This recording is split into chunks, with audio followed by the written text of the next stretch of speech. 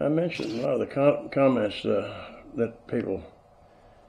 Well, I replied to some of the comments told them what I found. This valve is a, the exhaust valve.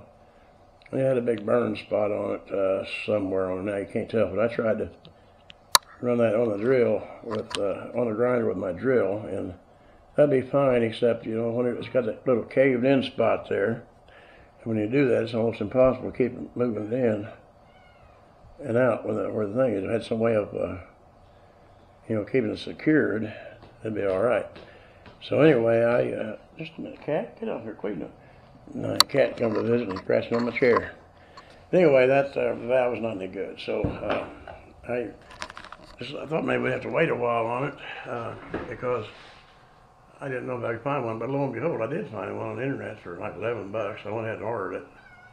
And I haven't pulled the other one out to see if it's uh, bad or not. Because like I say, there's no big rush on this thing, so we get. Uh, I might take that one out. The intake out a little sooner or something, but anyway, that's the deal on it. We got to wait now for the valve, then we'll get back at it. So uh, these things are just about like a, uh, in essence, the same. cats up here moving around. The uh, just like about like the uh, overhead valve Briggs do. You know, you loosen up a lock nut and adjust it down. It's not like the old other old Briggs where you got to uh, you know, grind the bottom off the valves and get the right setting. All right, well, I'm going to get out of here. The cat's just completely aggravating the heck out of us here. So take care. That's it for now.